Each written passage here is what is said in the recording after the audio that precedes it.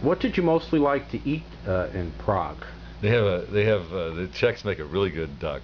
They cook it all night long, and it's no fat on it, and it, but then it's sort of you eat it with dumplings in its own juice, so it's a very intense dish. So whenever I have it, I always eat vegetarian for the next few meals afterwards.